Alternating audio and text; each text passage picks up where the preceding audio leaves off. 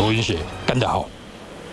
藏不住内心激动情绪，一听到郑杰终于伏法，死者之一的潘碧珠儿子直呼大快人心。我我从以前到现在就是以暴制暴，哎，对不对？杀人偿命是天经天经地义的事情，哎，该执行他早就该执行的啊。哎呀，拖那么久干什么？浪费空气，浪费粮食。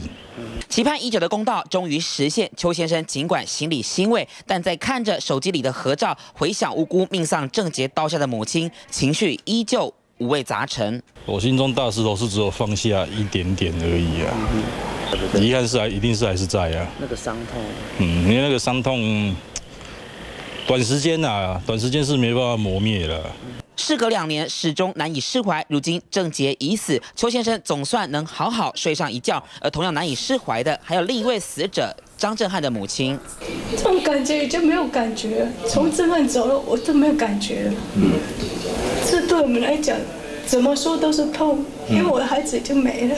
透过朋友转述才得知枪决结果，张震汉母亲内心早已无感，死者谢清宇的母亲则是到郑杰死前还等不到一句道歉，让他无法谅解。就是就是第一个感谢罗部长，第二个就是说那个佛法的话，就是说让社会有个警惕，然后第三个就是说让郑杰的父母看看说。怎么样教坏了小孩这样子？哎，对。郑杰事件粉碎四个家庭，两年过去，家属们内心的痛依旧难以释怀，只盼亲人的牺牲能为这世上不法分子有所警惕，带来些许改变。记者综合报道。